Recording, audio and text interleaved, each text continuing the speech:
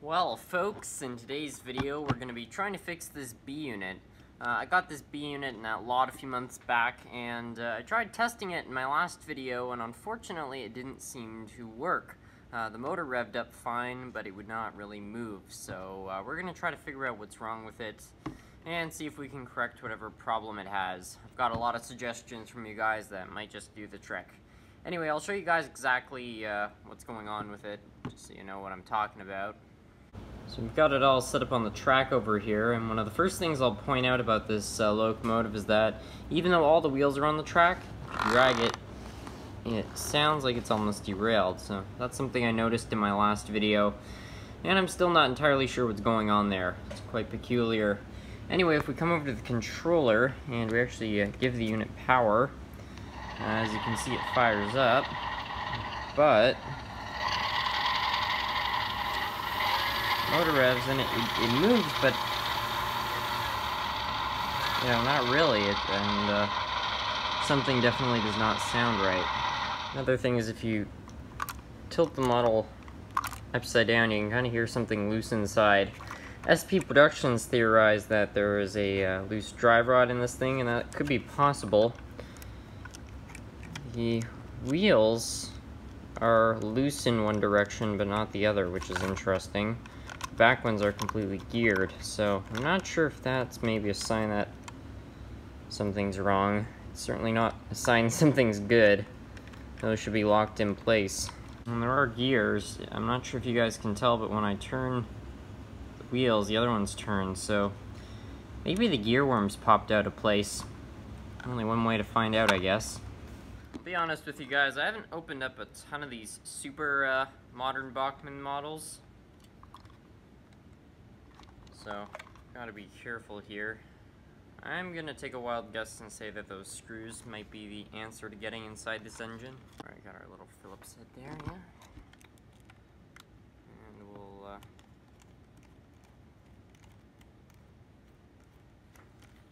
just unscrew these. Hopefully this is what is actually holding uh, the locomotive to the shell. Very well, couldn't be. Most of the time the shell just pries off, but once in a while they'll do something a little bit unusual like this. But again, only one way to find out.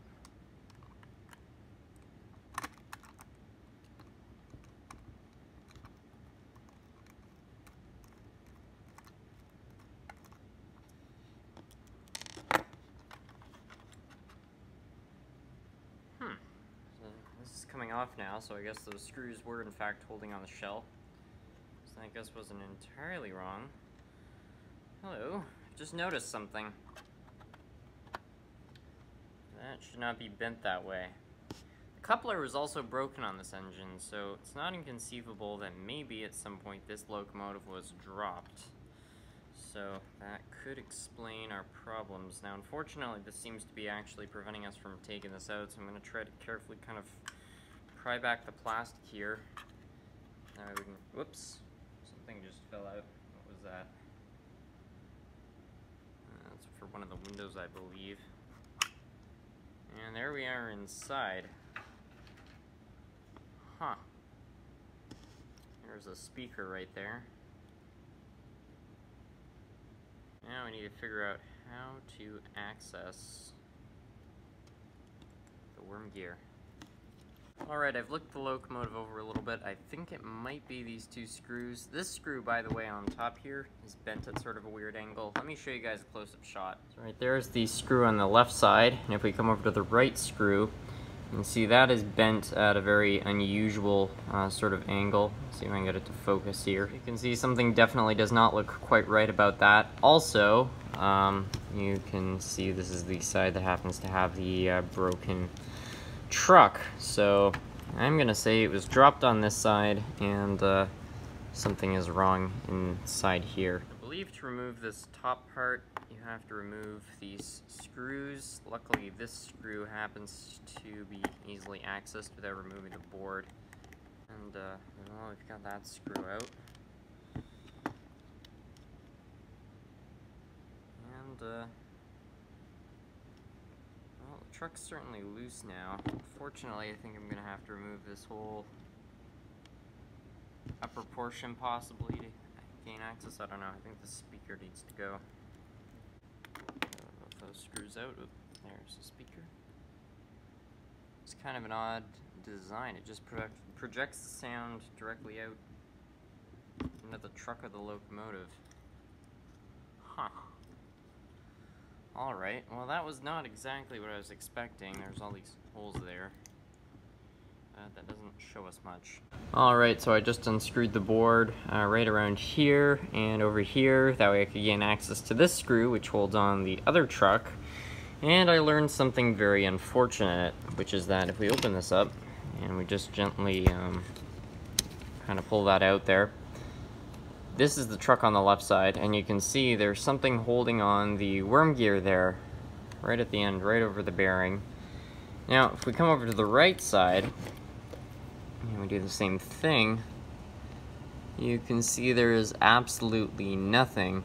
So, when this tries to accelerate, it puts pressure on the gear, and then this just winds up sliding right out like that and you lose traction in the motor and then that's why the wheels uh, can turn freely like that. So unfortunately since we don't have that plastic part, um, I don't think we'll be able to uh, repair this without ordering any parts. Now I've criticized Bachmann's quality in the past, but I have to say their trucks seem to be a common place for problems to occur. This is about the third or fourth time I've seen something like this happen to their trucks, and unfortunately I think it's due to a very serious design flaw. It's not under regular use these things break, it's when accidents happen, like you accidentally bump the trucks.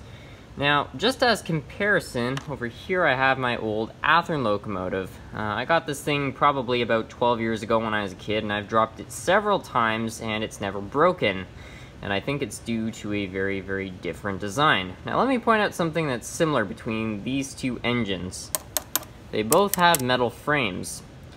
The biggest difference between the Bachmann engine here and the Athearn engine here is how they connect the truck to the frame. The Athearn engine has a little cross piece of metal, and right below that there is a bearing. That's where the partially metal truck meets the metal frame. It's a very sturdy design.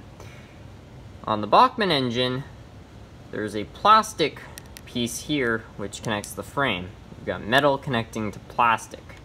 And there's a big difference. Now, if a major force, like you bumping the truck or dropping it or something like that, comes up in the Bachmann engine, I'm sorry, the Athearn engine, it comes right up here, goes into the frame, and all the stuff up here is protected. In the Bachmann engine, it's all exposed here. So, if you drop this thing, the force comes up through the frame, it gets divided, nothing usually breaks. On the Bachmann engine, the force comes up to this piece of plastic. The plastic's already more brittle than the metal, so it's more likely to break. It has to go higher, so it's less sturdy. And you've also got all these other components here, which are vulnerable to having damage to them. And in this case, what I believe happened is something hit the bottom of this truck, uh, the piece of plastic that went around this bearing uh, was forced up, it cracked, broke, and also the screw bent as it happened. You can kind of see that's just bent a little bit off to the side there. So, unfortunately, it's this design right here which allows these to break a lot easier than other makes. So, fortunately, it's made this truck a write-off, as it has several others I own. So to be honest with you guys, I'm kind of at a crossroads. I'm not sure what I want to do with this engine. I could try to go out and find replacement parts to fix it, but there's another option which might be a little bit more interesting. Um, I don't really need a B unit for power. I already have two engines which will provide plenty of power, and frankly I don't run very long trains.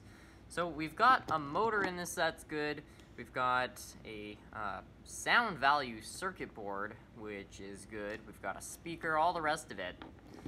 So I'm wondering if we should try to upgrade one of my current locomotives to DCC sound using this kit. Now it needs to be a very particular engine, and uh, obviously it needs to be one that the sounds would be fitting on. But that is an option. So, uh, I'm not sure what you guys will think of that. Maybe you guys will have a better idea, but that's an option. So, either we can try to fix this thing, or we can uh, try to just turn this into a dummy engine, basically, and uh, use the parts for something else. Anyways, thanks for watching, everyone.